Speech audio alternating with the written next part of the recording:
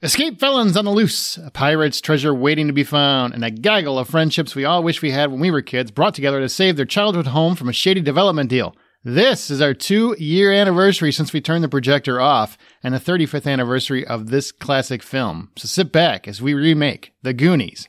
That's right, The Goonies. Right. Hey, you guys!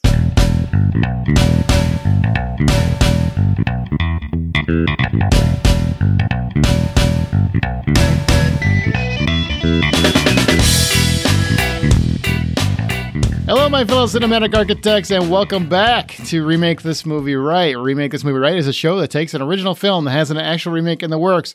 Kidding, it does not this time. Figure out what still clicks and what doesn't. There's a little bit of humor at it, and then we determine exactly how Hollywood should remake it. By the end of each episode, we will have the remake ready to roll for Hollywood execs and presented to you in movie trailer form, presented by Wayne Henderson of MediaVoiceovers.com. We are here to tell Hollywood how to remake this movie right.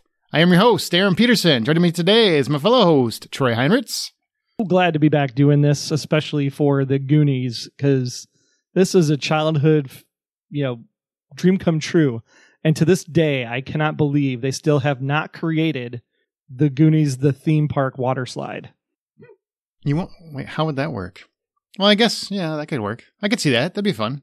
Ever since the the the when they slide down the water slide and get to the pirate ship, like that is the one thing I always wanted as a kid was to go to the theme park to do the Goonie water slide in a cave. Man, and and Warner Brothers owns Six Flags, right? Because they're all Looney Tune characters that are there, so or at least they have some stake in it. Just freaking yeah, let's let's do it. Let's get a Goonie ride. Why not? Or license it to Universal or something to do it into Islands of Adventure or, or Universal Florida has a new water park they're building not anywhere near the current parks, which is totally weird, but that's for another podcast and a different day. Big fan. Or add it to, you know, Disney can buy it, and what they can do is they can connect that sucker to Pirates of the Caribbean or something. I don't know. They're, they're... I think that they're at the limit of IP purchases before the SEC and the FCC and the FTC and a bunch of other acronyms get involved. I keep thinking that. I think go buy another net, uh, studio and a network and whatever else they can get their hands I on. am literally waiting for the day that now that the Paramount thing is no longer a thing, and not that Disney was ever subject to the Paramount thing that uh yeah we're going to see disney and apple and netflix actually buy amc cinemark and regal. It could happen. It could happen. But you know what? We're here to talk about the goonies. And if you don't know what what the goonies is, i mean i'm going to tell you what the plot is but if you don't know i think your childhood is ashamed of you. I really really do. Would you agree? There could be there could be some ten year old listeners, and then I'd be ashamed of the parents for not showing them their childhood yeah, memories. That's really a parenting fail. If your kids haven't seen the Goonies, I mean this this movie helps them establish what it takes to build quality friendships. Because it's our time. It's our time down here. It's their time up there. I just want to cry. All right. Well, Mikey Walsh and Brandon Walsh are brothers whose family is preparing to move because developers want to build a golf course in the place of their neighborhood. Unless not enough money is raised to stop the construction of that golf course, and that's quite doubtful. But when Mikey stumbles upon a treasure map of the famed One Eyed Willy's hidden fortune, which is conveniently hidden right in Mikey's house, that's pretty handy.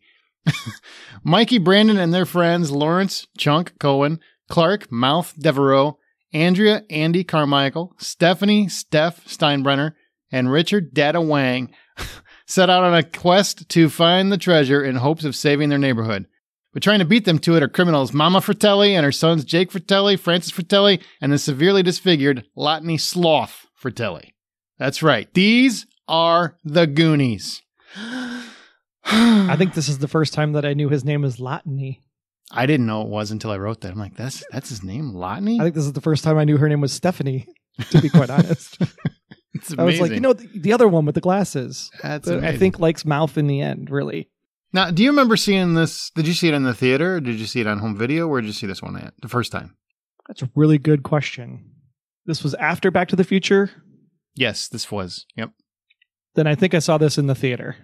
No, no, back actually, the, e- same year, eighty-five, right? Same year. I think so. Yeah, because I know I saw ET was like my first movie in the theater, which my Ouch. parents will never li- live down because I screamed for days afterwards to bring ET back.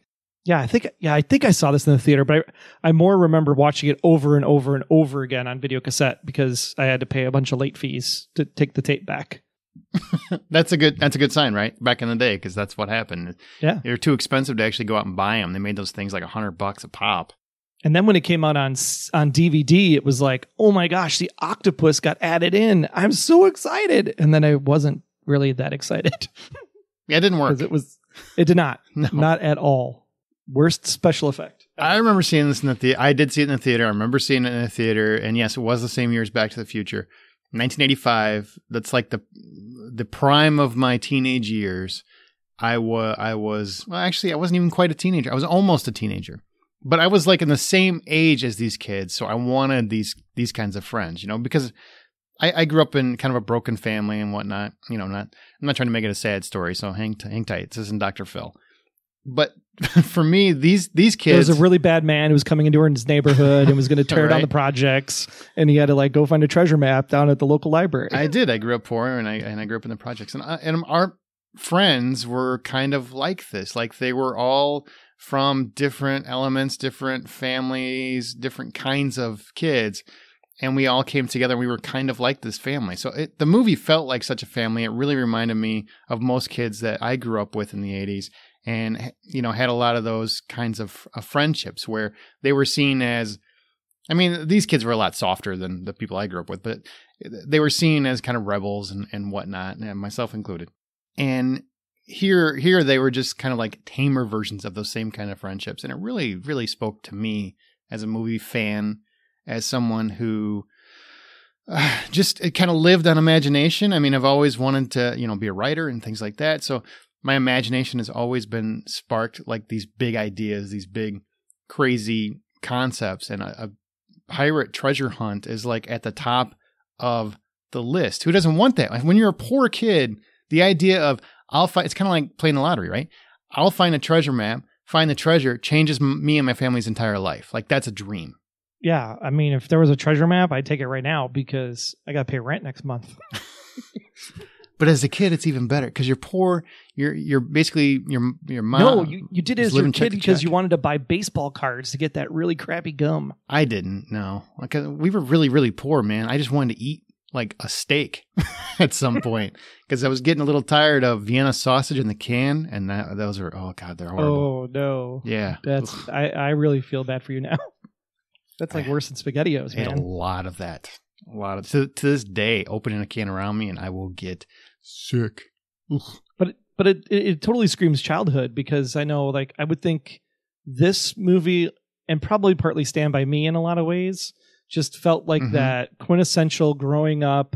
You know, your buddies getting together to do some kind of crazy thing, and for us, we specifically had a, a little bit of like a forest preserve that was, um, I guess, you know, there was a little creek or creek depending on what part of the country you live in, Mhm. um, and there's some little crawfish in there and stuff. So we'd like go, you know, find the crawfish. Nothing like you'd find down south, like little baby ones. But we'd like we'd spend all of our summers like building forts out in the forest and just finding new places to go. And then people would come by on the bike path, and we'd all be like, blah, blah, blah, and scare them on the bike path and stuff. You know? Did you ever And do then- snake wrangling where you you take a pick a gardener Oh, snake yeah. up on a stick and throw it at somebody? not as much a stick, but we had the um, what do you call it? It was the uh, the claw grabber, where you pull on the the trigger and it Oh, makes yeah. the claw hand on the end. So we'd like we'd grab the grass snakes with the claw with the claw grabber. I miss being a kid. Now everybody it- everything hurts you apparently, but man, snakes were fun to play with. And then you grew up and you watch Porky's and Fast Times at Ridgemont High and Back to the Future and you try to be cool. See, I always prefer But- these kinds of movies. I mean, because there aren't many of them. You know, you'd think something like The Goonies, which is uh, so timeless and a real classic and has stood the test of time, which, you know, we all love movies from different eras and stuff, but this is a movie that still holds up. And there aren't many of those where you watch it 35 years later and you're thinking, this doesn't look that, that old. Like it really, I think Back to the Future holds up like that too. Oh, it absolutely does.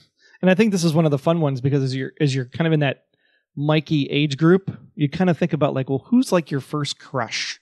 Yeah. Like especially when it comes to women. And I can remember watching Lucas and going, Wow, Kerri Green is kind of hot. She's adorable. And then when you're Mikey and you're like, and Mikey gets to kiss Kerri Green in the cave, you're like, Mikey's my hero. I want to be Mikey when I grow up. Mikey's awesome. And then turns out Sean Astin really is awesome because he literally was everything you want to be. Like he was a football player. hmm He got to he got to save Middle Earth. And he's a great brother in this movie. Like I, I know we Yeah. always talk about the kids, but he's really a great brother. Like he's the brother you always wanted. For sure. Absolutely. You know, they obviously fight and whatnot, and they don't get along at times. But man, when it comes down to it, they're both there for each other, and that's that's a beautiful thing. Even sharing girlfriends. well, not intentionally. I, I wonder how that would play in today's environment. But that was a that was a moment where that could easily be a very uncomfortable scene, and I think it was played beautifully because it was so innocent. It came across very innocent and sweet, and it, it really, really that's a beautiful scene. The whole kissing her. What happened to your braces, Aaron? Every boy fantasized about being Mikey. Let me tell you, because Oh, for sure. yeah, for sure. Well, you know what? Let's let's get into the actual original movie. We are a member of the Hollywood Outsider Network. Listen to episodes of Remake This Movie Right on your favorite podcast app, or just visit the website at remakethismovieright.com. Troy's been trying to bring this back for like a once a month event for a long time. So you never know. If you really enjoy the show and you've missed it, you know, send us an email, let us know, or hit us up on our Facebook group or on Twitter at, at Remake Right and let us know that you, you really missed the show and you'd like it to come back. And you never know. Things can happen. Weird stuff has happened. So right now, let's take a listen to the Goonies. But the worst thing I ever done, I mixed up all this fake puke at home, and then I went to this movie theater, hid the puke in my jacket, climbed up to the balcony, and then, th- th- then I made a noise like this.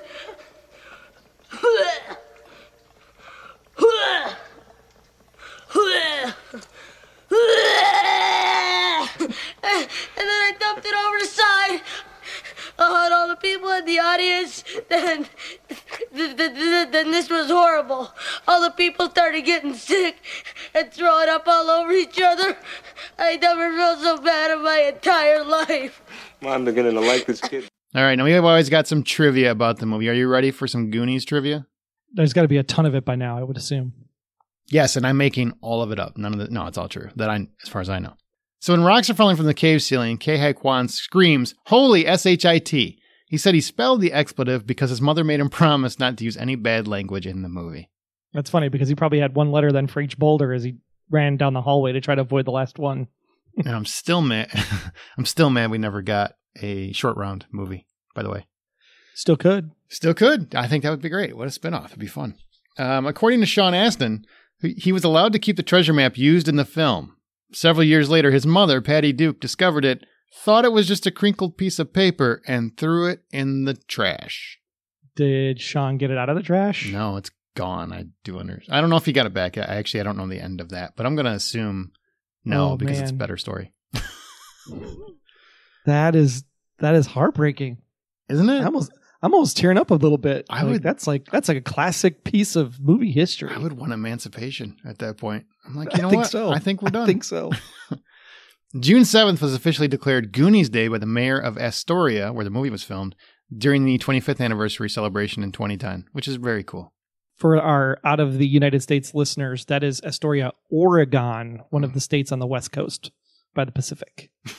Did you just say one of the, like they wouldn't know where Oregon was? Well, you know, they might not know where Oregon or Astoria and Okay. All right. with everything happening in Portland right now, maybe people don't want to know where Oh, Oregon is. Man, ain't that true? Well, One Eyed Willy's ship, the Inferno, was 105 feet long and took two and a half months to construct. It was modeled after Errol Flynn's ship in the Seahawk from 1940. I don't know if you guys ever saw that. Great, great movie. The sails required more than 7,000 square feet of material. The largest measured 30 feet by 60 feet, and some of the ship's rigging was recycled for the Car- Pirates of the Caribbean ship at Disneyland, which was being renovated at the time. Ah, I'm more impressed that the ship was called the Inferno because that's the first time I knew that too. So I'm learning all kinds of new stuff tonight. well, and also It's this is- educational and entertaining. Yeah, and this is kind of a, a fun fun fact, I guess. But if if you didn't know this, the the kids, you know, when they first see the pirate ship, they had they hadn't seen it to that point. Don, Richard Donner, the director, he kept it from them because he really wanted to surprise them. So a lot of those surprise shots were real surprise. So the oh wow was actually really a, an oh wow. I don't know if all of it was, but some of it was definitely very genuine. Yeah, yeah. I would I would have been. I mean, it was like I remember being a kid watching that reveal and just going like, "There's a pirate ship in the movie.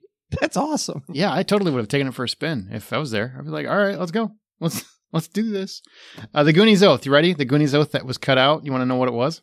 Sure. Other than it probably ends with Goonies Never Say Die, No. or starts with Goonies- Never Say Die. Neither.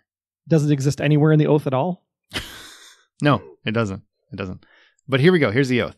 I will never betray my Goondock friends. I swear it. I, I didn't make this up. We will stick together until the whole world ends. Through heaven and hell and nuclear war, good pals like us will stick like tar.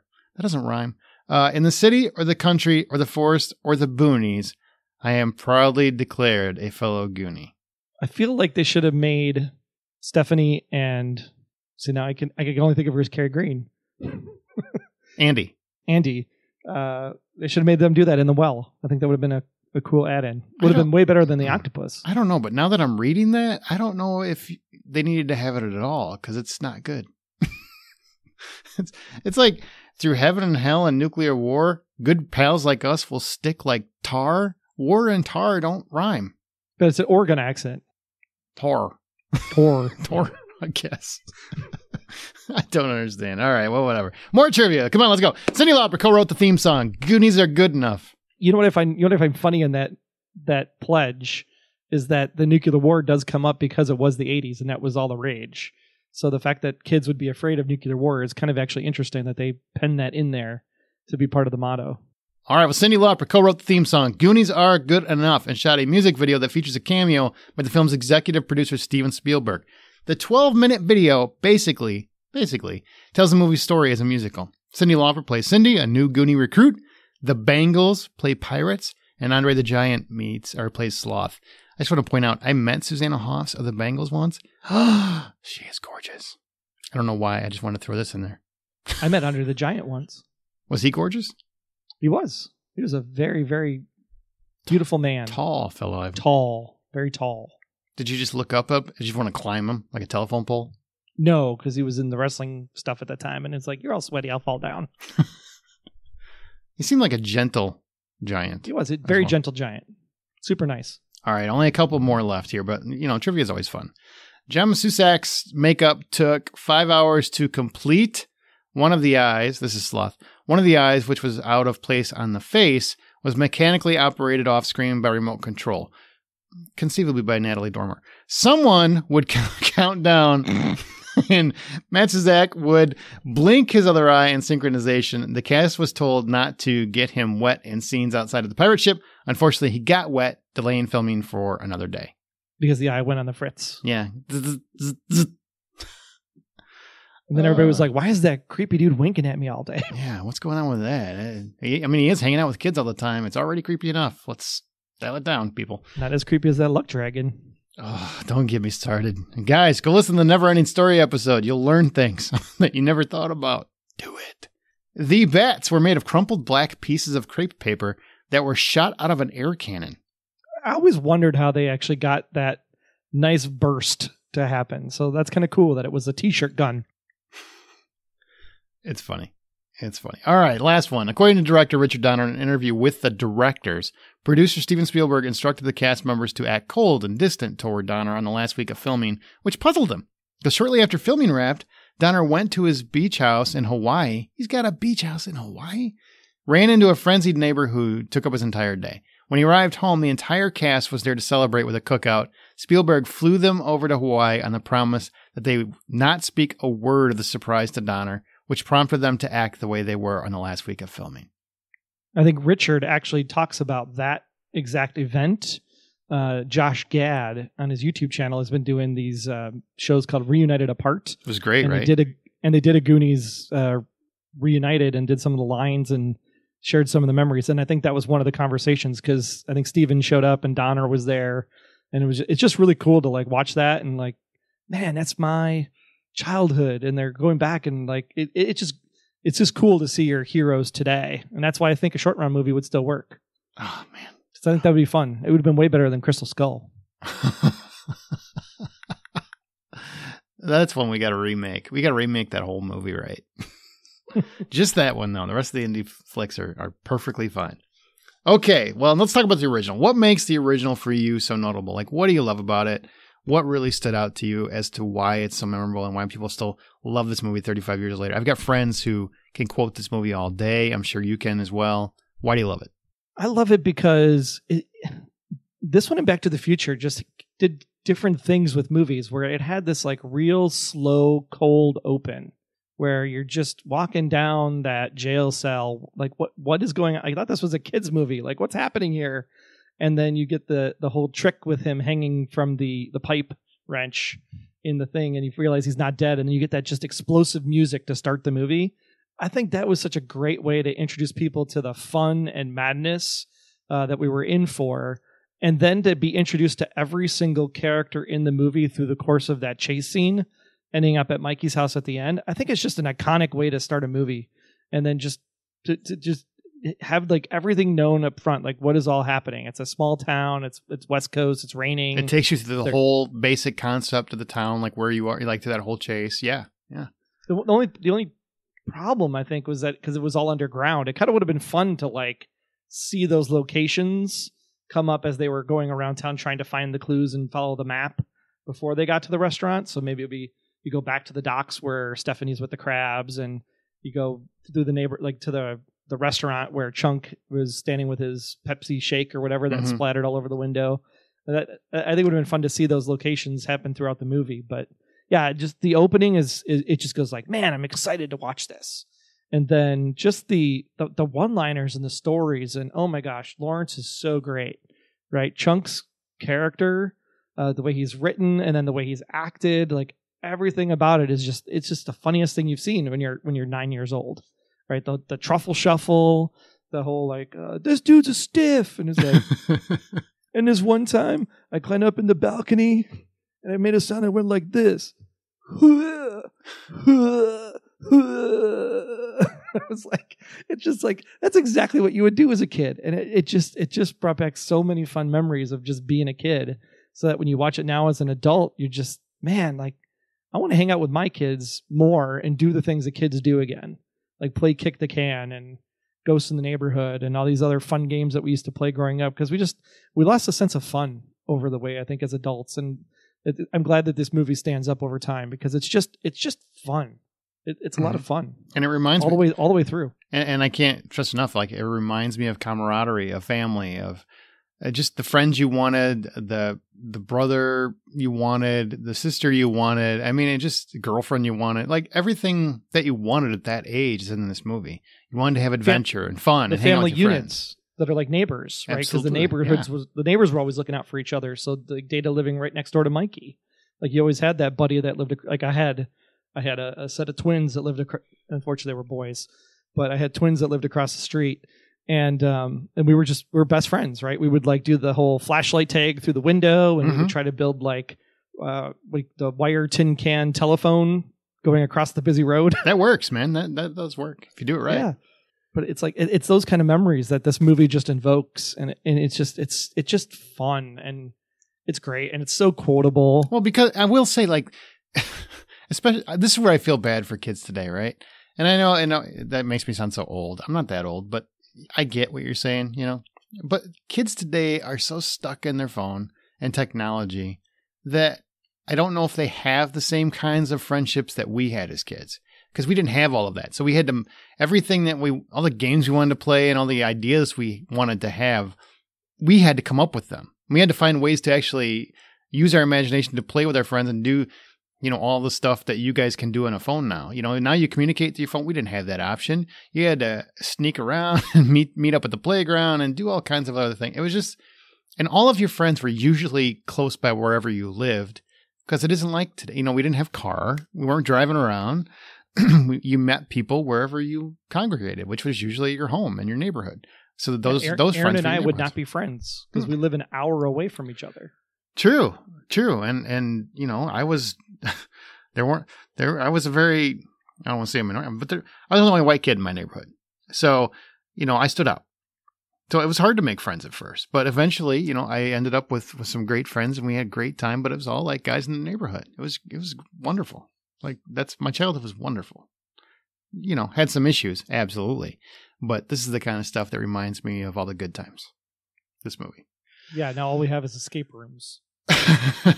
That's like that's like the, that the the level of our treasure hunting capability today as adults. And I do, you know, I, I think the prison escape, while kind of ridiculous, is very fun and it works. Like to, I mean, is is it plausible that he could get out that easily? I certainly hope not. Or we should probably look at how we. It's a small town jail. I sure. think the bigger sure, issue is sure. does the bullet actually light a ring of gasoline? That's the one I still want to get. It does not. By, You by know, I think you know it doesn't. But I would also like to add, you know, one important thing in terms of how great this movie is is the casting. Like this it was perfect. there's few movies in the in the history of mankind where I would say I wouldn't change anybody. This is one of them. This is one where I say I wouldn't change anybody. There's there's nobody in this movie where I think they didn't do exactly what they were supposed to do and they did it to the best of their ability. Even Mama Fratelli, I mean, is just she's you know she's a great actress, but she's also a great character and she really brings her to life. She pops and it works, and you get why the boys love her. You know, you don't quite get why she changed her son up, other than he's embarrassing a little bit. But all that stuff kind of works because of the actors that they cast. So it really is just like a perfectly come. It's perfect. It's a perfect movie. Yeah, even Troy is an ass. Aaron can tell you fits the bill perfectly. True story. Every Troy I know is like that. That's all I'm saying. Uh, some other, let me see. I'm going to hit you so hard when you wake up. Your clothes are going to be out of style. I love that. I love how they, they tie him up. I just think it's funny with this, this little weight thing. Um, the, uh, the wishing well scene, I think is very heartwarming. It's just a kind of a beautiful scene for, for me. The ending where, where they find the treasure and Mikey doesn't get greedy and then all the Goonies come together, I think is just beautiful to me as well. Like those are the, those are the highlights of the movie for me. yeah, the whole um, not that one. Save that. Save that for Willy. Yep. Everything else. Exactly. And then Exactly. that's when that turns out to be the booby trap that actually springs the ship free when the Fratellis end up taking from it anyway later. and and even Sloth coming to find a real family finally with the Goonies, I thought was was really sweet. Like I just thought that was that was really beautiful. Well, and, and Corey Feldman's at his best. I mean, when he's doing the whole translation with uh, Rosalita. Oh, he's kind of a racist though. I mean, he thre- threatens her with with imprisonment at one point. This is true. but I mean, there was the whole like, you know, this is where he keeps the cocaine and this is where the porn is. And it's like, it's like, oh my gosh, I moved into a murder house. And the statue, oh, in the statue, you glued it on upside down. if you piss in your face if God intended it to be that way. so funny. Ah. so anything doesn't work for you? Is there anything in this movie that actually does not work for you? I, I, I just watched it again in preparation for this, and I tried really hard to look at it with a critical eye to sit there and go, what is it that just doesn't stand the test of time or didn't work the first time around? And we kind of looked at it with kids' eyes, so you, you can see the faults now. The only thing that I think doesn't work for me is the pipe scene. Ah, that's on my list. It makes zero sense. It makes zero sense. It's funny as hell. And I love when Troy gets shot up at the toilet into the ceiling and then apparently still conscious after he gets his head knocked out because, you know, we got to protect Troy's all over the world. I agree. Yeah, put him in a camp.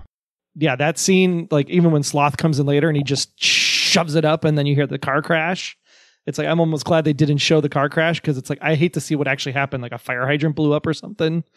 Um, but that entire pipe scene was the only thing that just didn't fit. And then an, uh, the only other thing I really came up with was the octopus.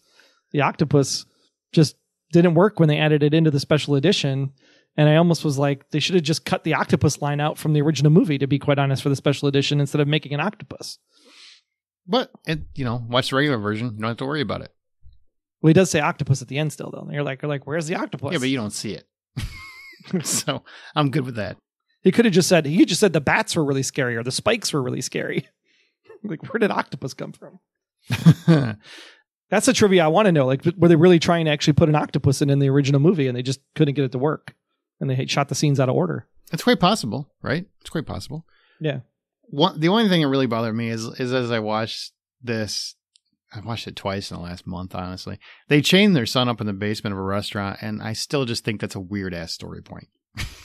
as much as I'm fine with it, I'm also like, what? That's just. I mean, they're evil, but that's really evil. Like, just Yeah. really, really evil. But remember, Mama Fratelli, you know, as the kids leave the restaurant, she literally turns and looks at the camera and she's like, kids suck. So I get the feeling like she never really wanted kids to begin with. And she's just kind of put up with her two kids that she has, and she really treats them like crap to begin with.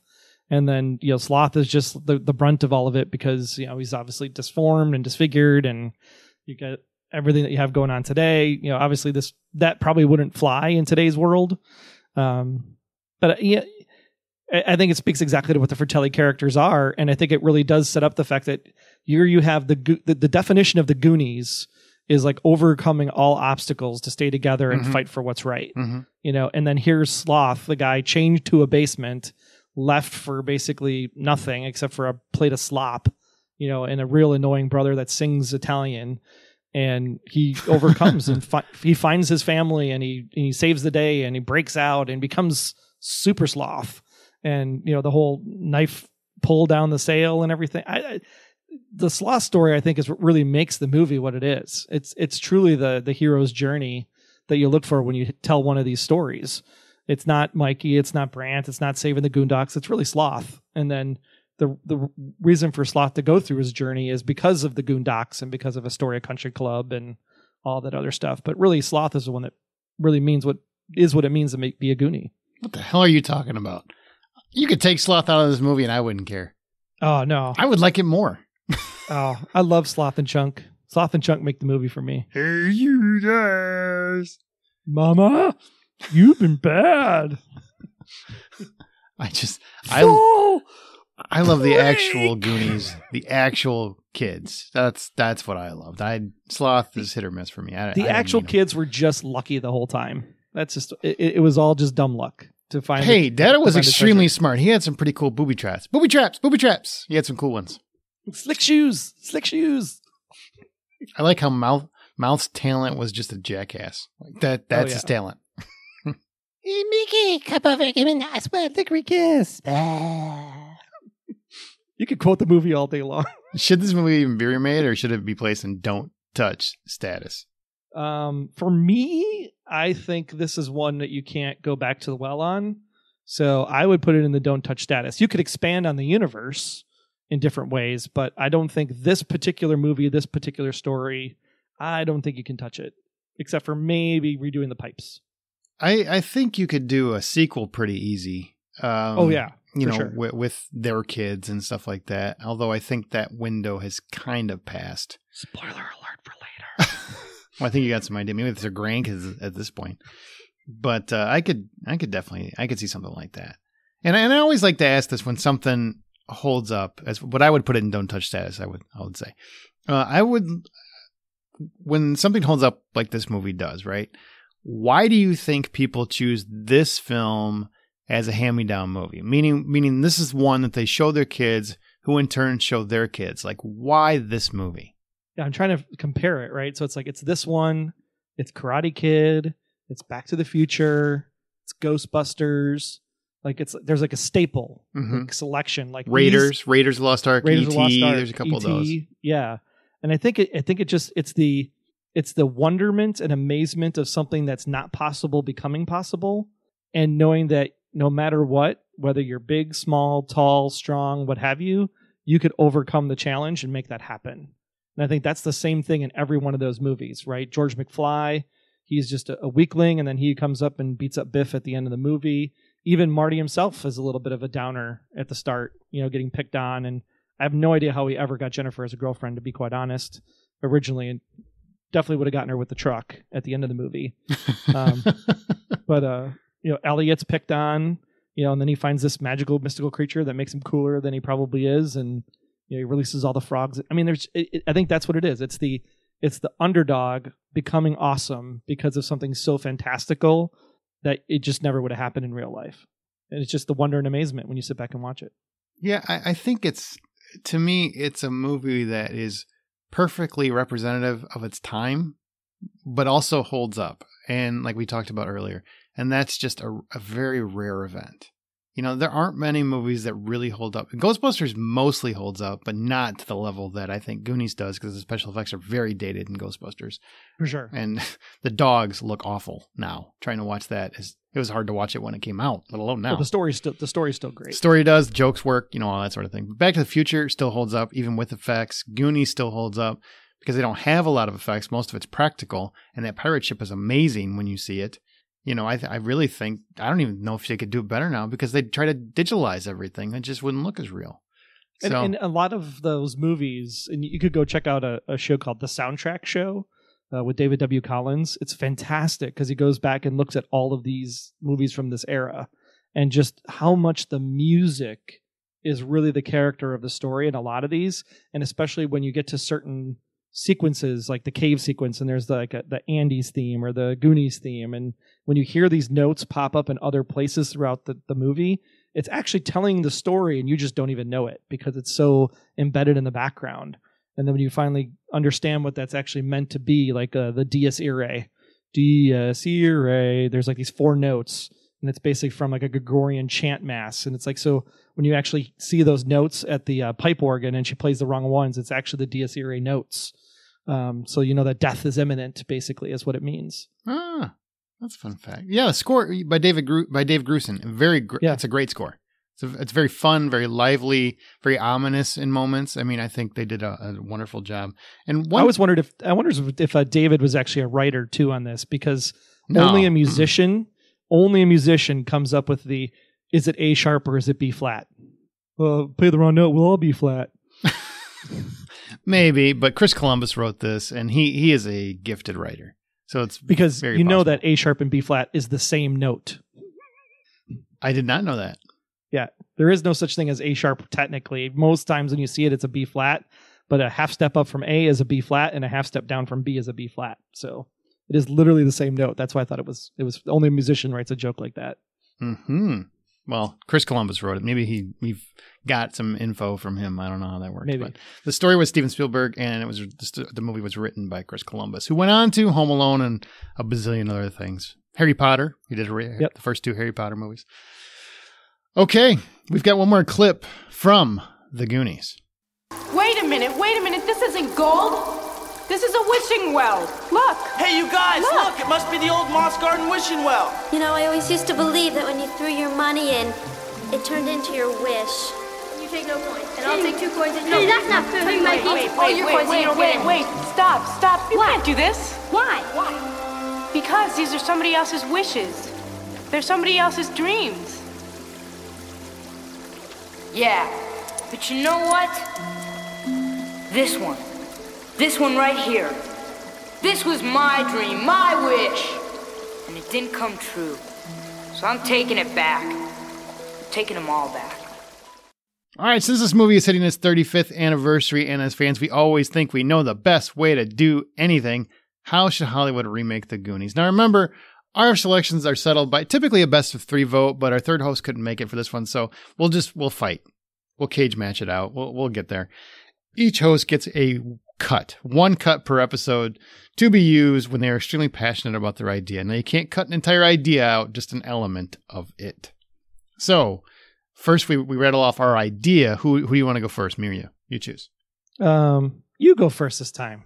Okay, here we I go. have, I have a re- I have a really good idea, so I'm curious to hear how yours because because I have like a really good opening and a really good ending that ties together, and I need help with the middle. So I'm hoping your middle can flesh out my idea. All right, I'm ready. Are you ready? I'm ready. Here we go. See, this one is a bit easier to me than the other ones because I I wouldn't change too much, honestly. So no no Cop out. pirates. He didn't do he didn't do his work. No, I did a ton of work. No pirates this time though. I, I would use reality. No pirates. So in 19 Pirates are real. you know what I'm saying. You know what I'm saying. Space pirates might not be real, but pirates are real. You know what? I don't even want to tell you my idea anymore.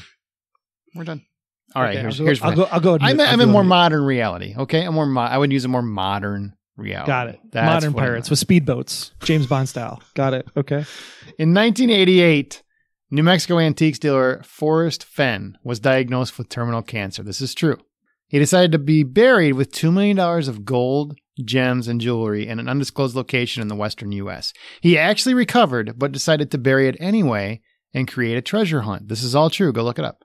He wrote a poem with nine clues and created a treasure map that anyone can find in his autobiography, The Thrill of the Chase. So if you're feeling like a treasure hunt of your own, go find that book and, and see you can join in. So people have died looking for this treasure. And I want our Goonies to be the ones that finally find it. So my movie is set in Denver, Colorado. Very scenic area, perfect for a treasure hunt. Don't have to worry about Portland, but also has an inner city. So seven inner city kids, see, I come from the inner city, so I like that idea, are again in danger of losing their homes due to a city zoning project. And I want a mix of races and sexes like a real inner city. I want Mikey, his older brother Brand, Chunk, Mouth, Stef, Data, and Andy, but of all uh, variants of, of races. The only way to save their homes are to pay the assessment taxes and reclaim their rights. Their parents will never have this kind of money. They just won't. So Mikey, our leader, just like in the, in the original, tells them about the thrill of the chase, the book. No one believes him, just like you guys listening probably don't, but it's real. Swear to God, Google it. But since they've got nothing to lose, and his older brother Bran does have a driver's license in this one, because you're going to need it to drive around, they, they set off to find the treasure. Now, one of the kids' dad is a low life criminal. I'm going to go with Mouth. Makes sense. Here's their plan assembles his brother and mother for Fratelli to follow them to the treasure and steal it for themselves. I leave out Sloth because I don't think it would work today. I just think, I just don't. Along the way, one of the kids gets kidnapped. I'm saying Data, so that he can escape on his own at some point not have to be saved. And they have to find the treasure to save them all. That's my Goonies. Sounds a little bit like game night in a way. Uh, not even a little. Nope. I don't even know what the hell you're. It's not even close to game night. But you know, if you got to pull from a movie of recent history, go for it. Um, actually, part of that actually is going to fit really well with my idea. Okay. So, painting a picture, scene opens. We find ourselves back in Astoria, Oregon as the credits roll, and we see the locations we saw in the opening of the original Goonies, but over some more nostalgic, lighthearted type of music. We see like Stefanie's crab barrel. We see the house where Mouth and his dad were fixing the water plumber. We see the restaurant where Chunk was in the window, et cetera, et cetera. And that's all over the opening credits. And we just kind of familiarize ourselves with the Goondocks once again, ending up with um, Data in Mikey's house before we pan away to the Astoria Country Club. As we pan through a restaurant, sitting two men are seen at a table eating and discussing the current financial health of the country club. Through conversation, we learn that the club is in foreclosure and a wealthy developer is looking to tear the club down to build a new tech center for business and commerce. Almost a self contained city within a city. One of the people at the table is actually Troy, uh, the jock sports car driving asshole and current owner of the club after his father had passed away. Ah. Across town, a funeral is taking place, and we can't see who's at the funeral, but as the camera pans in, we finally hear the name Walsh said out loud, and we realize that Mikey is there attending his dad's funeral. Mom had died years ago, and the funeral director hands Mikey an envelope that says, One last Goonie adventure, and a set of keys. Mikey then takes the keys to the Historical Society, now inherited from his father. He sets the envelope on the desk as Troy happens to walk in. Troy, hearing about what happened, pays Mikey a visit, asks why Brant wasn't at the funeral, and we get a line that basically, like, you know, he was on a plane, the plane got grounded. Mikey had to take a train, or Brant had to take a train across the country, so Hey, he's hey, going to hey, be a, a couple days late. It's Brand, you Goonie. All right. Whatever. Brand. Brand. So he's basically on a train coming from Chicago, so he's going to be late for the funeral. So that's why he's not there. Hmm. Right. Uh, Troy then basically tells Mikey what's happening with the country club.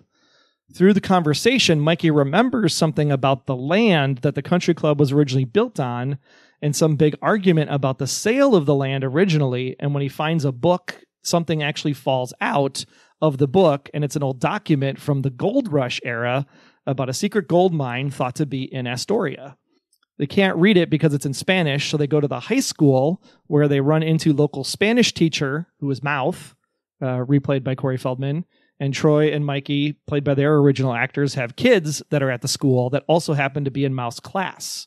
They basically translate the information, and now the five of them, Mikey, Troy, Mouth, and Mikey's kid and Troy's kid, now start their amazing journey as they are trying to find this mine and save the country club. So you you would it- do like parents, the Goonie, original Goonies with their kids. Yeah, kind of like the Bill and Ted face the music kind of angle, if you will. Does that mean Keanu Reeves shows up? I'm confused. It's like John Wick in this. Well, he could be one of the bad guys, right? Because then all of a sudden there's a bunch of bad guys who are basically thwarting their every move to try to stop them from finding the gold mine. And then you get to the the end where you actually find the gold mine. And when they show up there, the big bad actually shows up, and it's the same guy that was at the restaurant at the very beginning of the movie. It turns out that he is Chester Copperpot's grandson. who knew about the mine the whole time from his family history, and he wanted to buy the land not because of the tech center, but because he felt the Goonies screwed his family over by finding the One Eyed Willy treasure originally. And so he was going to buy the club, use the money from the mine, and then destroy the Goondocks forever because every great villain has that awesome speech right before you get hit in the head by a two by four because Brand shows up with Martha Plimpton and they're like, oh my gosh, like they saved the day. And how did they get there? Well, turns out when Brand finally shows up at the Historical Society, he found the envelope that said One Last Goonie Adventure, which had told Mikey about the mine. And Martha Plimpton's Stefanie happened to be on the train going to Seattle from Chicago. So she ran into Brand on the train, and that's how we get to bring them back in the movie. Uh, then, with the club saved and the Goondocks saved, the seven of them now have a dinner at the country club. Uh, they basically were talking about the what happened on the train and all the adventures and everything. And then, just as they leave the country club, they go back to the cemetery where inside of the envelope was a small piece of gold that's literally in the shape of a triangle, and Mikey places the gold inside the letter A of Walsh on the tombstone, and you cut to black. Hmm. Hmm. Hmm. hmm. So how do we combine the two? Do do do do do. Do, do, do, do, well, I like the clues around town because if you go back to like, I always wanted to see the town locations. I think we could use your framework and just use the treasure hunt. The treasure hunt. Yeah. Yeah. I think we could totally that make that movie happen because I I would be okay with that because honestly that I think that's a movie most fans would want to see rather than a full remake. You know, but I but I would like someone because it's a lot of white people. Oh, for sure. so so Mikey they could adopt. Make, Mikey no, could no, adopt. a adopt. He kid. married. He married a black woman. He married, you know, everybody, everybody, everybody shakes it up nowadays. Married a Yeah, Hispanic, mixed, whatever. Mixed families, sure. Sure, as long as we get that. I just want some reality here, and I think that would be uh, fun. Not that I'm against anything. Don't don't write a letter, but I think that would make it uh, more versatile. Goonies, Goonies for Yeah, modern day. My big thing was like it was like, oh, it's Chester Copperpot's grandson. That's where it started, and then I kind of worked from there. I thought that was kind of a cool twist. Now you didn't have sloth anywhere near your in yours either. no, because he we don't know if he ended up living or dying after the. Did we? Did he? Did, I can't remember. Did he survive at the end of the movie? Yes, he survived. He was fine. Oh yeah, that's right. They did come out at the end in the sunset, and then they saw the pirate ship. He can show up Yeah, with yeah, Bran at the end. You know, it's like he he helps he helps them save the day. He runs off Yeah. and gets Bran, or goes runs off and gets Sloth. That's why he's not there for a big portion. Yeah. something like that. I think that could Yeah. work. Sure. All right. Yeah. Well, boom. That was pretty easy. We should just make this and be done with it. So, director, who should make the uh, the movie? Like, who do you want to direct it? Oh, so that's the hard part. Not for me. I I, I didn't even think about it. Christopher Columbus. You know, he wrote the original. He loves, especially if you're going to have him involved with having the these same characters and their kids. I think you want a guy who understands these movies, and he's made a lot of fun movies. So I, I really think Chris Columbus is the guy to go with. What did he direct re- recently? Home Alone, Harry Potter, one. Oh, he actually directed. I thought he wrote them. no, he directed. He directed. He directed Okay. those. Yeah, yeah. Well, that's fine. Yeah, I'm I'm down with that for shizzle. Definitely. for Shizzle. And he's also, you know, he's a proficient professor. Uh, I mean, he's had a couple misses. He did Pixels. I don't know what you felt about Pixels, but but he's also, I think he's a fun director. I think this is something that he loves and he would do very well with. I think we should call him. Yeah, Give him the idea. we'll get on it. So now, based on the on the remake, you know, you're gonna have the same older cast, obviously, but they're they're varied in ages. You know, all my characters are based on the people that they have. So basically, let's just say with their kids, we don't have to name them. Um, but who would you want cast as the younger generation? Well, see, I was gonna say Samara Weaving could play a high school student, but because she's in Bill and Ted now, I feel like I have to cast somebody else. Why? She's fantastic.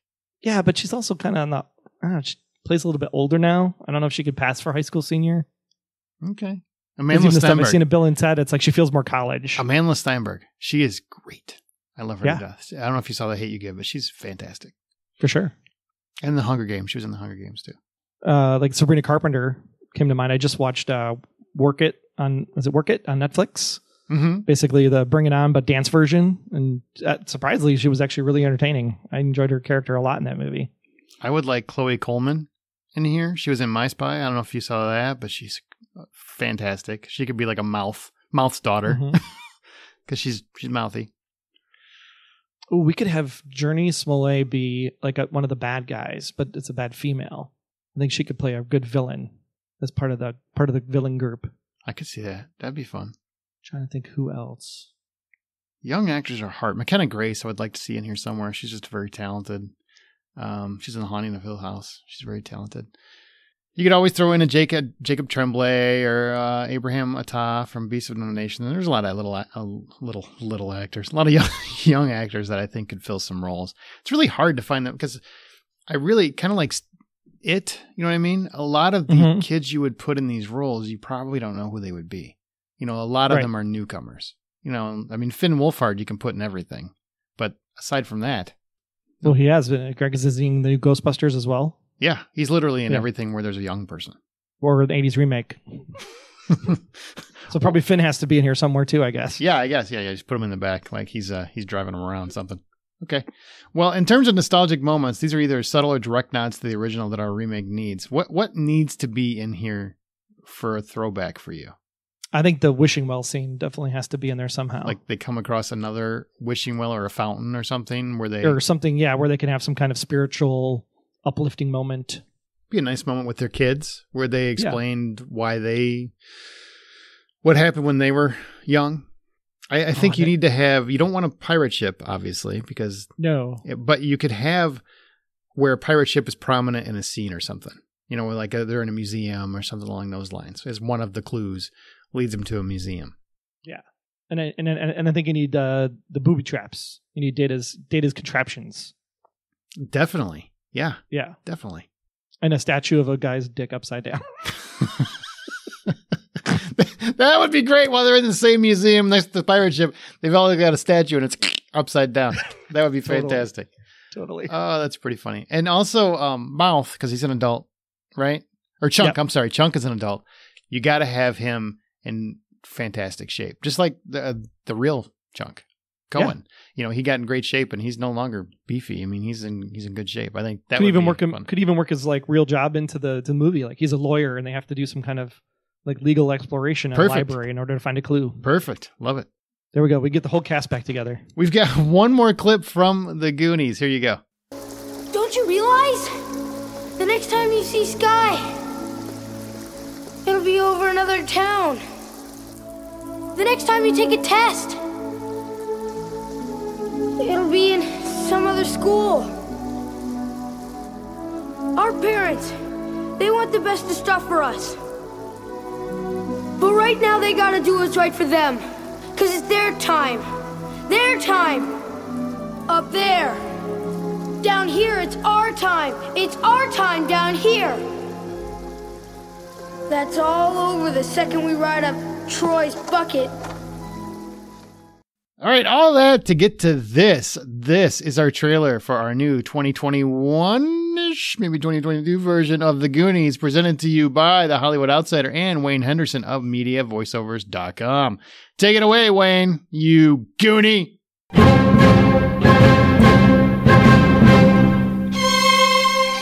Hey, you guys!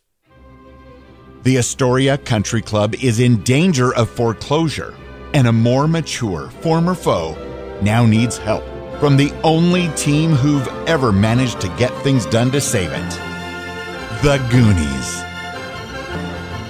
Many years earlier, rich entrepreneur Forrest Fenn hid $2 million in gold and jewels somewhere in the vast Oregon wild. If this treasure can be discovered before the villainous Chester Copperpot IV gets there, an Astoria landmark can be saved.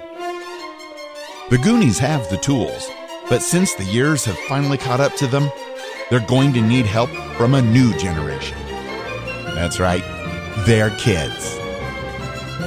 The original cast returns to join 80s nostalgia with modern technology and a who's who of young actors for a movie over 35 years in the making. It's our time right there. The clues are everywhere. The danger is real, and the adventure has just begun. These are the Goonies. And they never say die. Bam! Yes. That was amazing. I will I can't that. believe that he can put that together so fast. I know. It's just like, were you listening the whole time, Wayne? What the hell is going on? Hopefully, there's not time travel in this movie. That would be weird. I would like time travel. That would be cool. Why not? You, Marty McFly just drives up with his DeLorean at the end. You're not gonna believe what happened. Wait, that's the wrong character. Sorry. that's Doc. what happened? I don't know what I'm doing. Oh man, anything more you want to say about uh, the Goonies before we head on out of this bad boy? if you're listening to this and you've never seen the movie, go see the movie. You made it a really long f- way if you've never seen it to get, to get to where we already plotted the remake and everything else. Well, and they're probably thinking like, where the bats come in, and where does the pipes come in, and what pirate ship? Like, I want to go see this thing. This sounds awesome. And why is this little brother making out with her and she doesn't even open her eyes once to see? See, this is why you always open your eyes at some point, people. Just to be sure. you, you have to remember, it's dark in the cave. The only reason there were lights in there was so that the audience could see what was going on. but for the characters, they pretty much were in the dark. Hmm. I don't know. I don't know. I I'm gonna try that uh, and uh, see if I don't get charged. Basically, is what, is what I'm guessing. I think if I tried that in a cave, I'd be charged. Be careful. There's a hole somewhere around here. I think Brand was stepping in it. Oh, it was su- such a cute scene. Such a cute scene. This is the, this is the men's room. Wayne Henderson, thank you again for doing that. MediaVoiceovers.com. I know he loves doing that stuff. Troy, where can people find you? Uh, you can find me over at the blacklistexposed.com with this other Joker, uh, doing all things through the blacklist, which hopefully will return sometime soon, maybe yet this year, worst case 2021, for its eighth and cross your fingers, potentially final season. And you can find me on the Hollywood Outsider at all times, thehollywoodoutsiders.com. You can also find Remake This Movie Right at remakethismovie.right.com or the Hollywood Outsider. It's at the same website, actually. I show up on there too occasionally. You do, absolutely. Troy shows up there too. And we've got 60 some other remake episodes you can listen to. And if you are a fan of this and you want more, or you want us to look at maybe bringing it back someday, remake this movie right at gmail.com. We should plug, uh, remake this movie right, The Stand. It was just announced that CBS is going to be airing The Stand, CBS All Access. We'll be doing The Stand as a four part miniseries uh, later this year in December. So if you're a fan of The Stand, go find the Remake This Movie Right Stand episode so you can find out how we didn't get any royalties for our idea. I just want to clarify. So basically, you plugged the one episode of the entire remake series that I'm not on. I plugged the Never Ending Story earlier. Okay. I'm not on that right, one. eh, I'm just saying, on the way out the door, you're like, what's the one that Aaron wasn't part of? The Stand. M O O N. uh, if if this is the first time you found this podcast, we've actually had some real fun too with some other '80s properties, especially Short Circuit, where the gentleman S.S. Wilson, Steve Wilson, he was actually the guy that wrote Short Circuit, and he came on to remake his own movie. Yeah, that with was us. fun. That was so That was a great episode, great episode. He did the Howling with us too, right? I think. and the Magnificent Seven. He did three of yes. them. he was great, man. I love him. He is a good time. He's a good time. Maybe we'll do it again. You know, everything's going to have an anniversary over the next couple of years. So You never know. And you never know. Troy really wanted, he had an idea to do this once a month. So if you guys really love it, you let me know we'll, we'll look at it. But there's got to be love there. There's got to be love. Okay, well, the credits have rolled on this remake, but be sure to come back for our next one. Remember that every film you love will get a reboot someday. And you know what? It's been a while, but that proves true because there's a remake announced every freaking week. Just remember that only you can remake this movie right.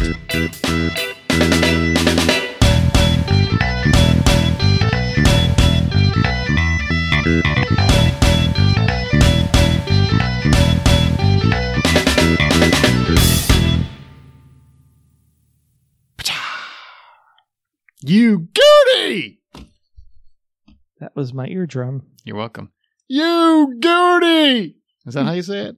Yep. Okay. Angie, you goody, goody, goody, goody. You spread the batter around. I wonder if they got in a fist fight once he found out you made out with his girlfriend. Sloth, chocolate, chocolate. We, we didn't even cast Natalie Dormer. That's okay. I only think a small select people get that joke. That's such an in joke. I don't even care.